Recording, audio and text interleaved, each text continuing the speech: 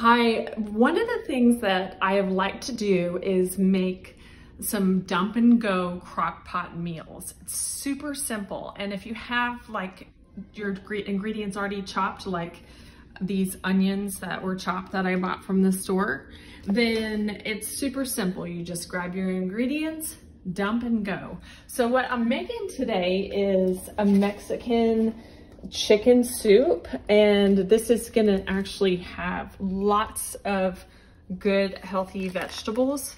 But to start, we're just gonna start with some chicken and onions and then we're gonna dump in about 15 ounces of tomato sauce.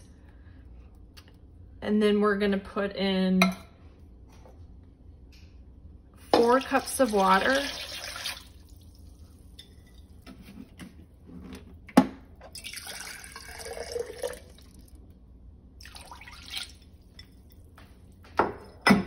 pause it.